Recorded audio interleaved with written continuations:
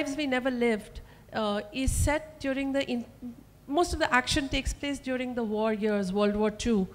Uh, it's primarily set in a, in a fictional small town uh, in the, near the Himalayan foothills. And from the descriptions Anuradha gives, we, we know it's not very far from Dehradun. But she doesn't uh, tell us more of that. And Anuradha tends to write, her novels are based in small towns, uh, always fictional, right? Yeah. And uh, I, I, I think before we get into what this book is about, uh, Anuradha lives in Ranikhet, works from there. Uh, she does, uh, among other things, uh, and writing these fantastic books. She does a book covers, and but this this cover uh, is done by someone else. She doesn't do her own book covers. So uh, maybe uh, you can talk to us about what it's like living in Ranikhet, and and how how that influences your work. You know. Um, I'm really very happy. Can you hear me? Uh, I'm very happy to be here. And uh, being at the Hindu festival particularly is a special thing for me and it's uh, connected to when I moved to Ranikhet, which happened because uh, my husband and I had left uh, our jobs at the OUP under quite uh, chaotic circumstances and at that time for a very, we were trying to set up a small publishing house of our own called Permanent Black which is the place for which I design book covers. And at that time, when you're trying to set up a publishing house, for a very long time, the books will not make any money at all. And all our savings had gone into the setting up of the publishing. And at that time, Nirmala Lakshman, who is the organizer of this festival, she uh, realized that we actually had no way to live. It was as simple as that. And she suggested to me that I help them out as a consulting editor at the Hindu. And this uh, uh, work was not only uh, sustaining for me economically, of course, but it really opened up a whole new sense of myself in the world of books, of being able to feel uh, anchored again after a very bad upheaval at work. So that's why coming to the Hindu and coming to Chennai is incredibly special for me. And it was at this time that we moved to Ranikhet because we no longer had to live in Delhi. We could afford to be wherever we wanted. That was the plus side of losing a job. And I'm drawn to small places, I think, because I lived, my father was a field geologist. We moved around a lot. We lived in tents when we were children. And this may, makes it very uh, natural for me both to live in a small place and to be interested in how large human dramas, as I want to show in these novels, can play out in very small places. And in fact, this small canvas is a useful tool to cut out all kinds of distractions when writing about these human dramas. So um, All the Lives We Never Lived is it starts as the story of this young boy called Myshkin, Myshkin Rosario, whose mother disappears. And actually, Anuradha tells us the story right in the first line. In my childhood, I was known as the boy whose mother had run off with an Englishman. The man was, in fact, German, but in small town India in those days, all white foreigners were largely thought of as British. So, in this first sentence, you've already told us what happens, yet you haven't told us everything. Was this a deliberate choice to yes to bring us? Uh, and I, am hoping during the course yeah. of the conversation you'll know what happened, a bit of it, um, to give it all away and then have the challenge of holding the reader with the bits yeah. of the story.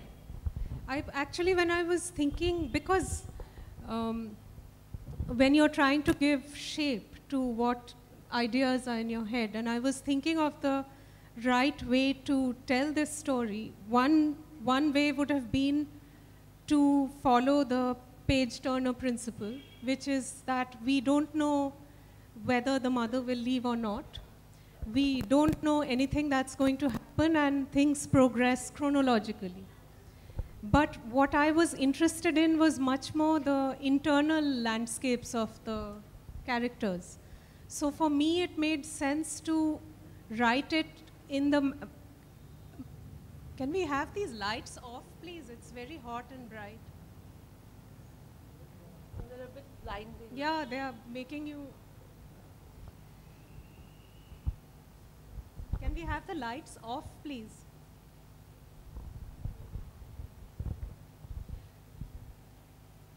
it's also going from red to blue. Yeah.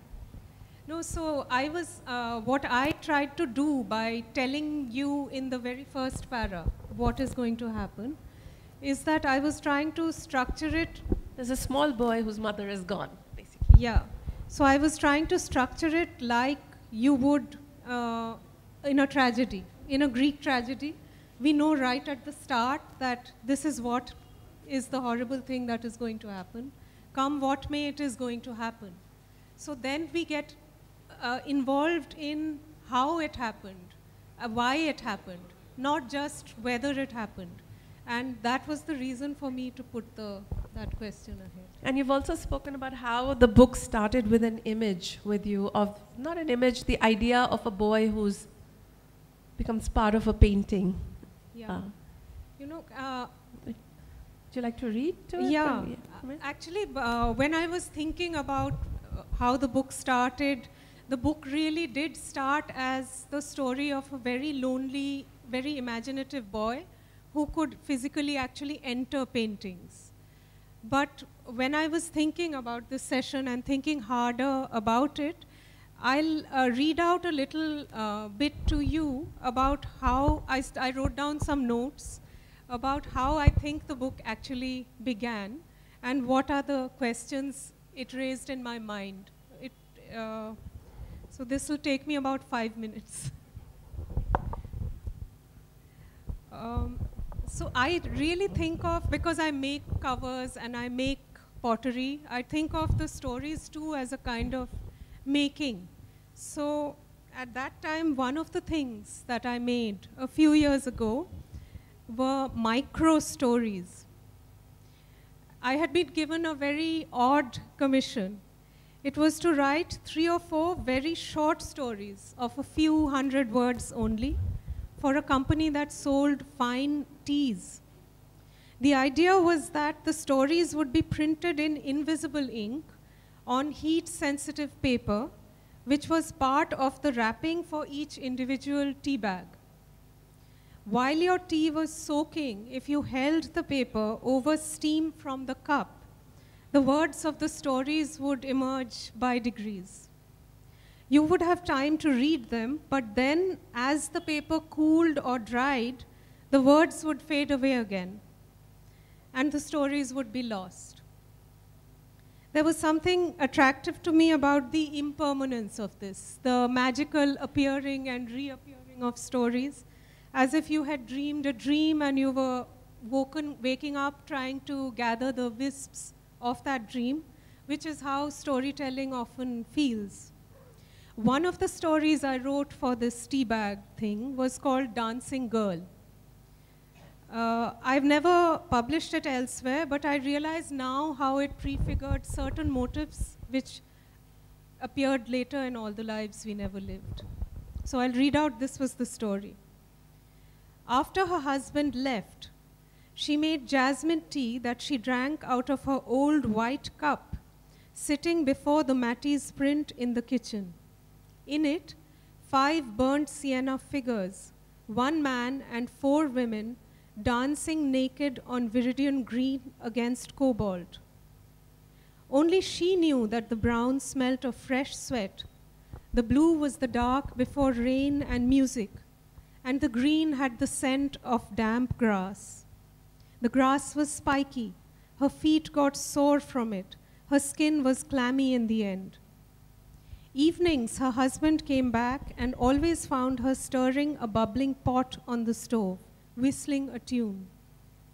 What's that strange tune? he'd ask her. And she'd kiss him for an answer, mouth tasting of mint. One day, he got back too early. She saw him look around for her, then go past the picture calling her name. He never noticed pictures. He didn't see the Matisse had six naked figures now one man, five women. He kept calling. He could hear his, she could hear his voice across the house and in the garden. She lay panting quietly into the spiky green, rain blue sky above her, arm around another dancer's waist, brown body, breathing out sweat. What writing means to me above all is a parallel universe that is endlessly fluid, involving, and secret, and the struggle to translate it into a language and form that is right for it. And I think this very short story came to me as an illustration of the work of a painter or a poet, the parallel modes of existence they habitually occupy, and the way they put their double life to use. It is also a metaphor, I think, for reading, because the ideal reader for any writer is one who can completely surrender to a fictional universe, for whom it becomes an alternative universe. It is several other things, this short story, which is probably why it stayed with me, buried in my subconscious for a few years. And this snippet of a story then developed into a novel and something I read recently by a Spanish writer called Javier Cercas made me make sense of my own book. And Javier Cercas, in A Blind Spot, which is a book on the novel, says that at some point in the novel's unfolding, a question is posed. And the rest of the book consists in a more or less visible or secret way an attempt to answer this question until finally comes the answer that there is no answer. Cercas then quotes Faulkner, who said that literature ultimately lights a match in the middle of absolute darkness that surrounds us. We might say that the match does not let us see anything, says Cercas, but that is not true. It makes us see the darkness. So, what I was wanting to do through this book is to have a sense of this darkness by lighting a few matches. So, uh, I, how uh, it unf- so we'll see how it unfolds the book because it's set in a small town, but World War II is raging.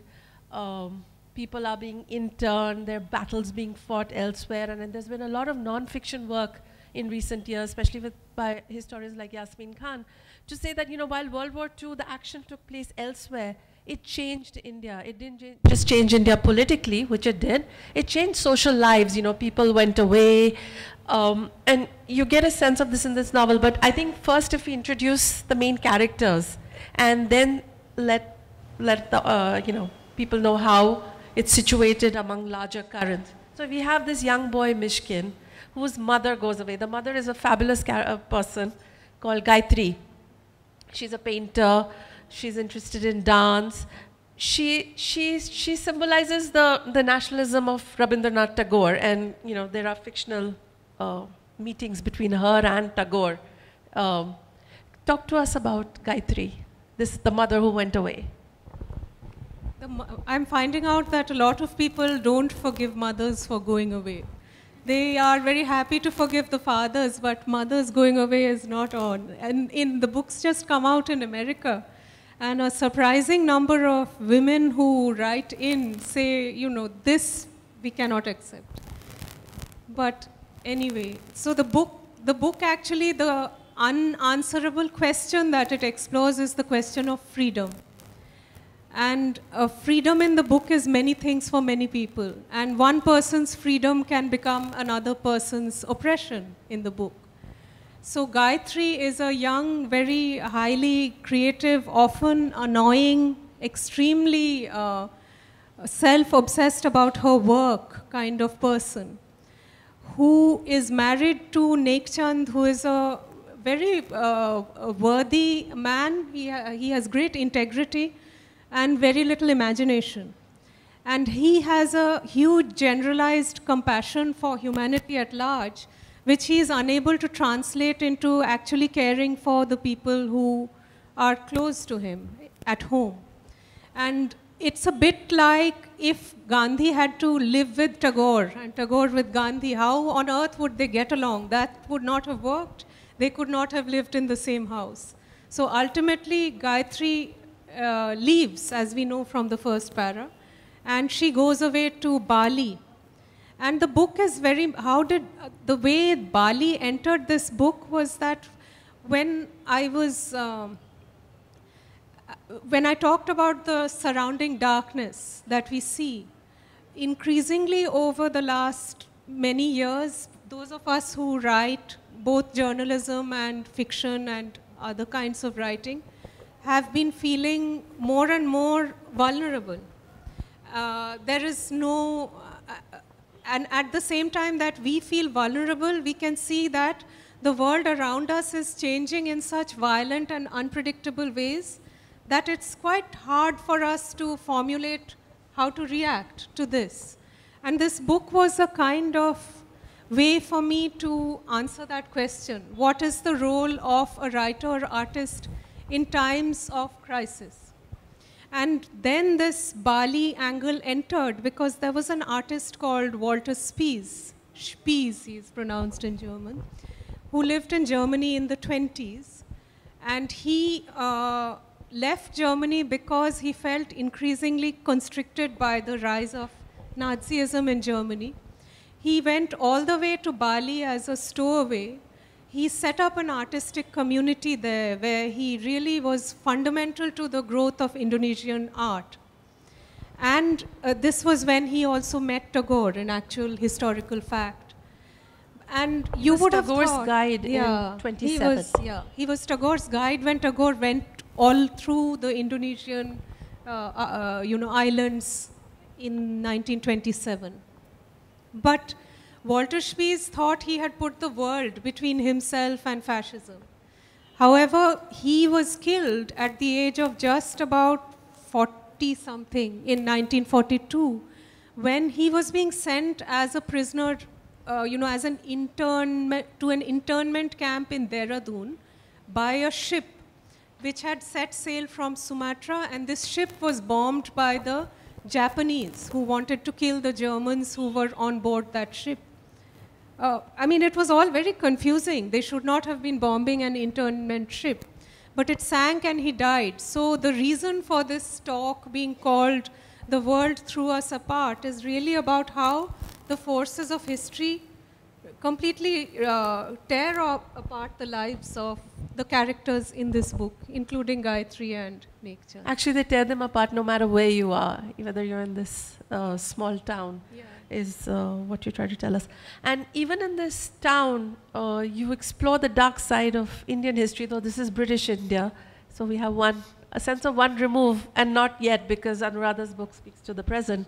Uh, when there's a there's a you can call him maverick or a little loopy uh, dentist uh, a, a, a Japanese man who too is you know one fine day in 1942 which in the book is sort of uh, given as the date when the first Jews were sent into the gas chambers at Auschwitz uh, is sent off to an internment camp in Bikaner.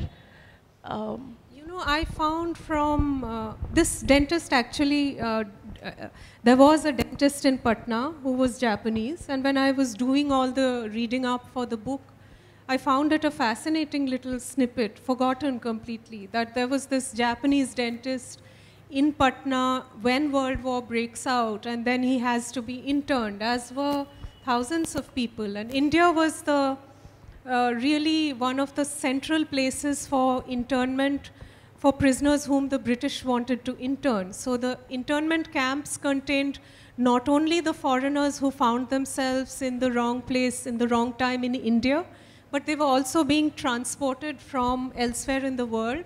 And there were huge internment camps in Gujarat, in Dehradun, and uh, they were sent off according to their nationalities. But the Dehradun one contained a huge number of Germans, including Heinrich Harrer and so on. So the dent- dentist she is talking about lives in this little town called Muntazir, and the boys, uh, the boy Mun- Myshkin, when he's growing up, his only uh, recollection of this dentist is that the dentist woke up one morning having forgotten his broken Hindi, uh, unable to speak anything but Japanese. So he, this is well before the war. And after that, he becomes a kind of, uh, you know, a, a guy who comes out at dusk to buy his vegetables and fish and he lives in a kind of seclusion and hiding. And the moment he leaves his place, these boys uh, jump around near him shouting Honshu, Hokkaido, Shikoku, Kyushu in a chorus. But it is only when this dentist is being led away in a police van that they suddenly realize with a shock that life has changed forever for them in this town. Um, uh, talk to us about the two nationalisms. I mean, these are, these are now your fictional characters, Gayatri and her husband, the two kind of nationalism as, you know, as they were in argument with each other in the 30s and 40s. And, you know, their, their versions, maybe after that you could talk to us about their, their versions as they're playing out now in a more hardened, less engaging, less conversational uh, form. You know, one of the uh, things I, I found out a lot because of writing this book, because I had to read a lot, and I'm not, no, I'm not a scholarly person normally. I found myself having to be uncharacteristically determined to search out clues and follow them right to the end and so on. And one of the things that was so moving about the whole argument between Gandhi and Tagore that took place at this time uh, when the Quit India movement was reaching its peak and Gandhi was advocating two main things which Tagore opposed. One was that Indians should no longer uh, study English and everything foreign should be spurned. And the second thing was that artists should, for the duration of the freedom struggle, uh, stop artistic activity and devote themselves to the nationalist cause. And Tagore's main opposition to the second was that he did not believe in nationalism. He didn't believe in uh, the primacy of national boundaries and countries and so on, but he wanted uh, the individual exercise of the human mind to be the most supreme thing. And he, in a very idealistic vision, saw a better world as one where every individual was free and individually artistically exercising whatever freedom they wanted to. And yet, during this whole argument, when they wrote each other letters, they published public articles, uh, you know, against each other's positions, there was no lack of courtesy. They uh, were invariably courteous to each other, and when Gandhi went to jail, uh, Tagore completely stopped writing anything in op opposition to him to show that he was not, uh, you know, going to uh, fight someone who's not there to fight the battle back. So I found that the whole idea of opposing worldviews existing in this civilized way quite something to mourn the passing of now when it's a slanging match all the time. So is this the light in, in the darkness that you wanted to? More or less, I suppose, yeah. Um, Talk to us about this town. So the town where this is set is uh, the fictional name is Muntaz Muntazir. Yeah. Muntazir. Uh, I'm sorry, not Muntazir. Muntazir, it means waiting means in Urdu. Mm. Yeah, you know, to wait with uh, yeah. anxious longing. Yeah. Now this is a town where this Myshkin is waiting to know what happened to where his mother's gone, what happened to her, coming to terms with what happens happened to his mother. So I mean, you see it in that sense. It's also a town, I mean, I find it in, maybe it's my reading, um, it's, it's waiting to know how these larger forces are going to, going to play out. Uh, you know, war is happening, uh, is caught, I mean, stuck in, in Bali by this war in, in, in, in Indonesia. Uh, through this town, uh, trainloads of prisoners are going, and you know, these small children, they look and then they see these empty-eyed uh, people, white people in them, and which we, of course, we learn are the, you know, the Germans who are being interned, and these are not, these are not Nazis. They're just people who happen to be caught. So, how, how did this town come to you? Uh, you know, which I, uh, I, I actually don't know. it's quite difficult to answer, uh, to understand how certain things in the book happened. Uh, in the sense that uh, most of the places in my fiction are made up places.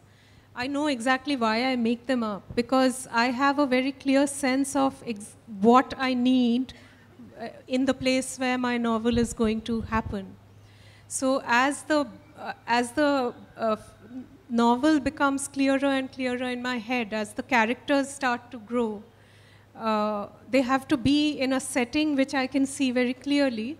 And for me, this novel had to be within sight of the hills but not in the mountains.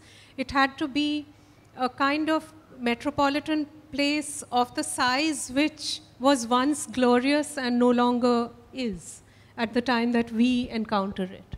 So uh, creating this town, then I, you know, I have a very accurate sense of the town's geography inside my head, even if it doesn't exist. It's probably an amalgam of many small towns that I've seen or experienced, like, you know, Rampur. When you go through Rampur, for example, which is a really grubby place now, uh, before you reach the Rampur uh, main railway station, you reach, you pass the ruins of the old Rampur railway station, which has these beautiful arches just falling down. And there's a goods strain that's parked at the platform there, which has probably been there for 30 or 40 years. There's moss growing from it.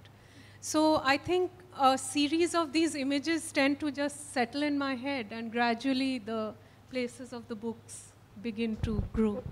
There's also a lane in the book called, uh, named after Begum Akhtar, and which uh, Myshkin, as he grows older, lobbies with the powers that be to finally have it named after her. And, and it, it comes back to the theme of your book another theme, I mean, it's feminist uh, theme that, you know, the woman artist, you know, what kind of freedoms, what structures need to be broken for her to flourish? There's Gayatri. And uh, uh was that a conscious uh, yes. theme in your book? Um, you know, one of the people to whom this book is dedicated is Sheila Dhar, who was a singer herself.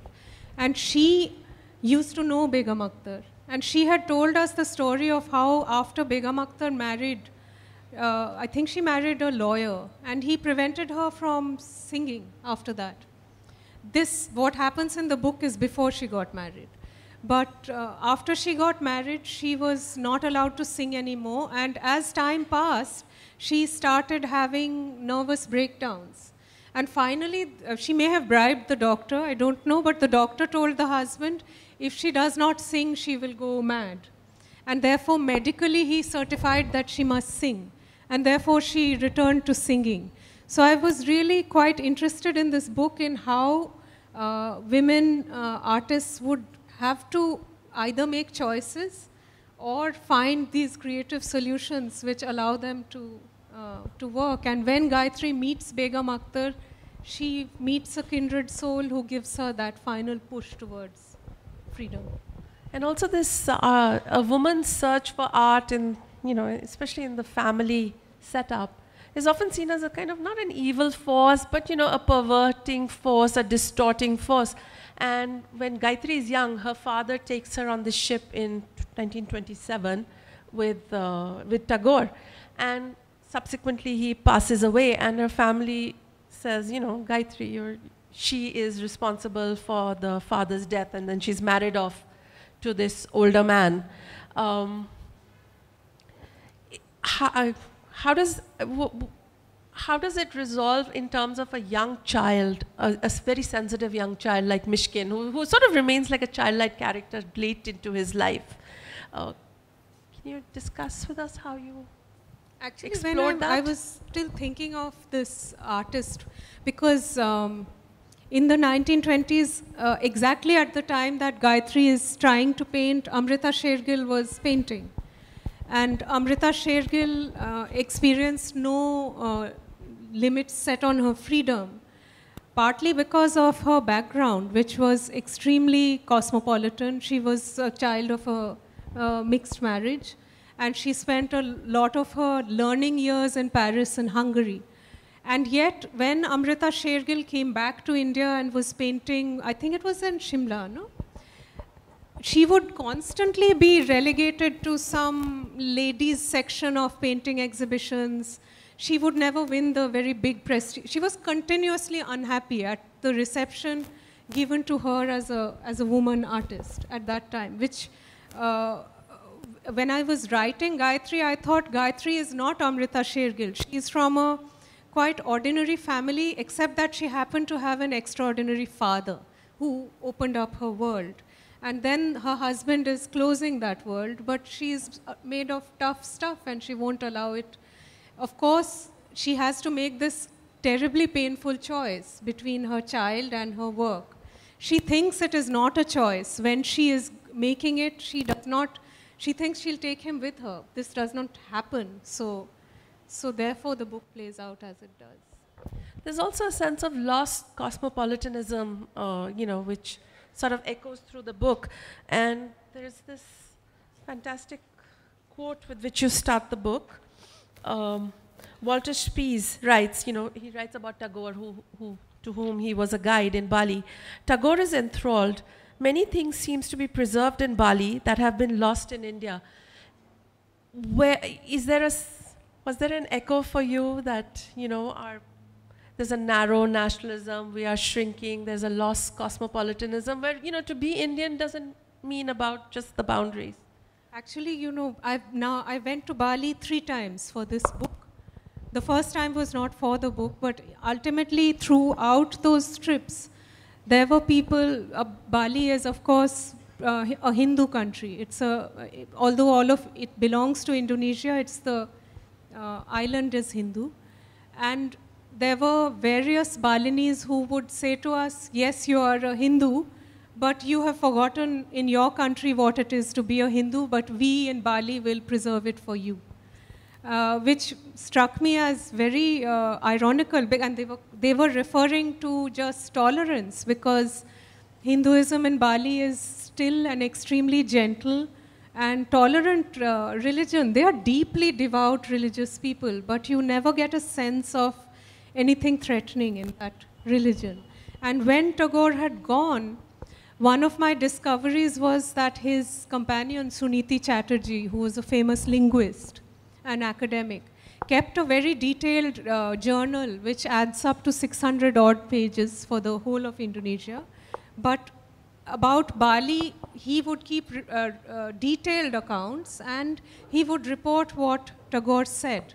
And Tagore also wrote himself in a book called Letters from Java. And they, Tagore said that Bali felt as if an ancient city, an ancient civilization from India had uh, gone underground in an earthquake and bits and pieces of it were still visible but largely it had been covered over and a new kind of civilization had grown in its place in Bali, which was drawing from India but not Indian. And he found the whole thing very deeply moving and said, this will not last long either, but they still have what we don't. And tell, tell us about the cover, cover of the book. Well, the cover is by a Colombian, yeah, a Colombian designer called Monica Reyes, who works for my British publisher. And Monica is a very gifted designer who is also a philosopher. She's doing a PhD in philosophy right now. And when she was going to do this cover, she said to me, uh, send me a few things around your house which are precious to you. And I live in a very small house in Ranikhet. There's not much there at all. I kept casting around, sending her this and that, and then I found this compass. Uh, there's a compass in the house. And I sent her a picture of that, and she said, okay, now I've got the cover. And I didn't know what she meant. But she basically worked this whole palette with actual paints and then placed that compass in the middle and expressed the whole uh, book thematically so beautifully of, you know, boundaries, lack of boundaries, the painting, the different colors of the different civilizations. It's quite astonishing, this cover. Uh, uh, any questions uh, so far? Yeah, my question is, uh, what is the message of uh, for women? and what kind of ideology or class uh, you represent uh, in the novel uh, to the reader. Like, uh, should that woman who leaves the husband and goes off and uh, should it be a, a positive development or should it be a negative development? And uh, you have uh, said about the British and the Nazis and all that. Have you talked about the Nazis' uh, ideology, which is socialism, and the British ideology of capitalism and all that? Thank you. No, no. I, I think the work of fiction is not to provide answers to anything in this way at all. My, the work of fiction is to open up questions, to ask questions. In fact, I find that if I uh, if I'm reading a book, uh, there's uh, one of the short story writers I really admire is Alice Munro, and her book, her stories were being made into films by Pedro Almodovar. And he said after reading an Alice Munro story, as you proceed towards the end, you feel as if you know less and less rather than more and more, because the story as it opens out is opening up a whole series of questions, which the story is not going to answer. That is for the reader to answer in their own mind. You, you're saying you can draw inferences from it. Yeah. Uh, rather than uh, giving suggestions, uh, solutions, uh, you did not take about the concept of society prevalent at that time, 1920s, uh, like in the British India or some of the Bali and all that. You did not take that into consideration. No, very much so. I mean, as a reader, if I can answer that question, not as a writer, I think the it's it's very specific to the conditions or political changes that happened at the time. But actually, the story is actually a story of fictional characters, and you know how all of this plays out in very ordinary, well, if I can say ordinary lives. You know, uh, a woman may not actually be a very well-known artist to go and follow her passion. You know, she may not be an Amrita Sher-Gil, she may never ever get known. But how do you follow your own passions? You referred to Bali, and during my visit trip to Bali, I found that yes, there are Hindu people, but their kind of Hinduism is different. It is more uh, intertwined with nature, with animism. They worship trees and the totems and animals. So it seems to be pre-Hindu mixed with Hindu, which is a different combination than the Hinduism we know in India. Do you agree with that?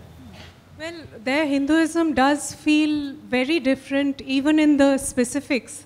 I, have, I haven't studied their religion in that way, but they tell me it is influenced also deeply by Buddhism, as well as, uh, you know, maybe, I, I suppose even we worship trees here, that, so that part of it may be quite similar. But I found that, uh, you know, for example, the, the, just the daily rituals that they have. I, I don't know if you noticed those little straw baskets of uh, offerings for God that they leave on the pavements. And in that there will be a biscuit and there'll be, there'll be very odd little things. And they don't mind the dog coming and eating it later. The notions of purity seem to be much less rigid. In the temples, you are not, you don't have to take off your shoes. When I asked what prasad do they offer, they said whatever we eat, you know, meat, chicken, uh, turtle, whatever they eat, they give. Uh, but the gods have the same names, and their dances are performed out of the Mahabharata and Ramayana, their versions of it. So there must be big similarities and differences. Uh, hello, here, down here. Uh, so actually, even though it's not exactly an epistolary novel, uh, letters play a huge part in the narrative. So um, what do letters mean to you? And you know, there's a sort of effect of delayed communication that's very much magnified in the book. So what do you see the medium of letters as, and how does it, you know, That's a very, influence your very uh, narrative? good Just question. explain Yeah. what the letters are also. Th- Well, there's a whole section towards the latter half of the book where Gayatri is in Bali and she is writing letters to her closest friend back home for news, to give her news as well as get news. And uh, when I was reading uh, war memoirs and so on for this book, I realized that so much depended on letters during those years because those are, that was the only way of getting news of people who were out fighting. So the whole anxiety of posting a letter, wondering will it reach, waiting for a letter and not getting it, uh, the whole anticipation of a letter that has arrived but you haven't opened it. So Myshkin often delays opening the letters from his mother because he feels as long as that letter is not opened, what is inside it is still there waiting for me. So uh, I found this whole idea of the letter a very, very potent uh, way to express all the, uh, the, the displacement, the anxiety, the grief of being apart from people. So that's why there is the, and the odd little sidelight that happened day before yesterday was that the, I live in a small place the general postmaster of Ranikhet suddenly sent word through somebody saying he wanted my phone number. And then I got a letter from the, uh, the head postmaster from Dehradun uh, saying that he is reading the book because he has heard that there are letters in it. Thank you. Um, uh, uh, you mentioned this when you're talking about Gandhi and uh, Tagore. You, you said that uh, Tagore was not a nationalist. But then he went on to write the national anthem not only India but also two other countries, Bangladesh and Sri Lanka. So. Yeah, yeah you're absolutely. In fact, Tagore uh, returned his knighthood after Jallianwala Bagh, as far as I remember. He returned his knighthood. Uh, and he was extremely patriotic. He was not nationalist in the sense of being a, uh, the kind of nationalist who thinks that every other country is terrible. He saw the idea of following one great leader or one country as a kind of pathway to fascism. And he thought that the nationalists who were currently against an outsider, which in this case was the British, could very easily turn against people who were within the country if they identified those people suddenly as outsiders. So I think he uh, foresaw the more uh, vicious angles to nationalism. Hello, hello ma'am. Uh, you had mentioned that you live in a remote hill farm near the Himalayas. Yeah. So, as a writer, do you think that the solitude gives you an edge? It's very, very um, good to be on your own if you're writing, obviously. But I think you can get the solitude wherever you are. Because when I was writing the first book, I wasn't living in Ranikhet. I used to live quite a large part of the year in Delhi. And uh, I really just need a desk and a room, and I'll shut the door and I'm on my own. That's, it's true that when you're writing, you have to be a bit ruthless about uh, saying no you can't keep going to festivals like this. I go to very few. Uh, you can't keep going out to dinner. You can't meet a lot of people because, in a sense, you have to create a kind of uh, enclosed universe for yourself where you are uh, you're living the life of your characters also, and you have to preserve that quite hard, and it's quite precious and difficult to keep. Can I squeeze in a question then? Um, can I just talk to you about my favorite character in the book we haven't spoken about is Myshkin's grandfather.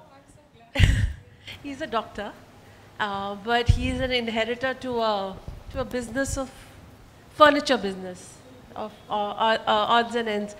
He fits in perfectly in the book, but I could easily see how somebody else who just had things to say could have taken him off the book. So,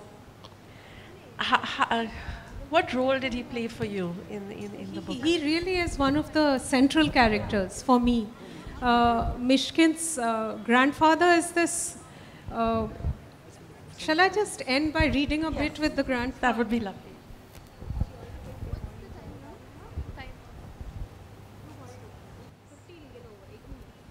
You know, he's this kind of person in which these two, all these contesting ideas have a very, you know, they, they sit easily with each other. Uh, and yet he's a man of very definite views, and, and he's someone who speaks to the present. I'll read you a little bit about the grandfather rather than describing him. So this is after Myshkin's father has left and he has been quite delinquent at school. Uh, and now his grandfather thinks of taking him on house calls with him. When I think of these house calls now, I smile to myself, even though it is all so many years ago. I see Dada at the mirror, combing his silver hair, which is standing on end because he has just shed his night kurta and put on a fresh one. Once he is dressed, down to his wallet and fob watch, he says, Is my assistant ready? When we reach the patient's house, everyone is overcome with relief, and the whole family flocks around Dada and speaks over each other in a bid to explain the symptoms. I decide I will never be a doctor. The stomachs of the ailing are so hairy, their tongues so gray, their smell always sour, stale, and anxious. After these, the house calls are done and the clinic is closed, I come, we come back to Banno Didi clattering plates onto the dining table. Every few days, if there are no patients at home, Dada pushes his plate away, food untouched, saying, Let's go to Liza's. Then the evening changes bright lights, rose printed curtains, boy in and out with tureens of chunks of soft mutton and fat potatoes float in a broth that smells of ginger and onion. Then there is bread and butter and crunchy fritters that ooze syrup and bananas. There is noise from the street, noise from the guests down the corridor, the raised voices of women fighting in the shanties behind the main road. Dozens of Liza McNally's ancestors in gowns and suits beam from the wall in approval while she plays Cole Porter records after dinner. So deep in my heart, you are really a part of me, she sings, matching her voice to the one on the record, and winks at Dada, who tries to sing along. He goes off key in a minute and switches to whistling.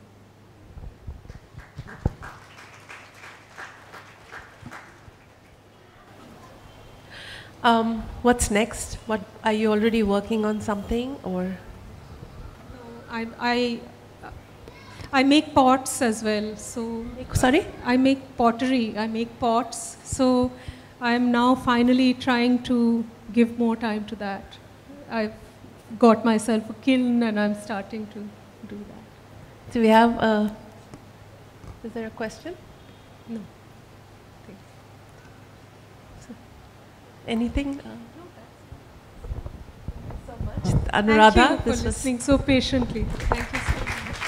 Um, she'll be signing books outside.